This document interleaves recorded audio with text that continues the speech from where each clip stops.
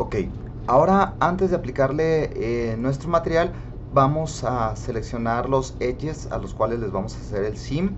Seleccionamos este edge, este de aquí abajo, este de aquí, este de aquí abajo, este de aquí, este también de aquí abajo, y por último este de aquí y este de aquí abajo. Y aquí los tenemos seleccionados, le damos clic derecho y Mark Sim. Perfecto, ahí los tenemos. Estos son los cortes que le tenemos que, eh, que añadir. Ahora vamos a su objeto Face, le damos clic en A, la tecla A, para seleccionar todas las caras. Aquí estamos viendo cómo están hechos por lo pronto. Vamos a asignarle primero el material, que es el Color Grid.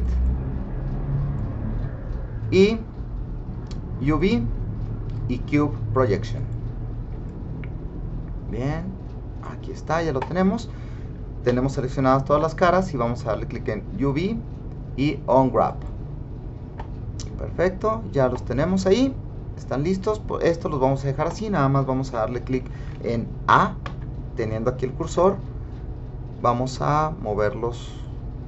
Ah, vamos a quitar el snap, importante. Los movemos por aquí y vamos a escalarlos uniformemente. A escalarlos aquí. Ok, perfecto. Ya tenemos listo em, este on grab. Voy a eh, vamos a hacer el siguiente en el siguiente video.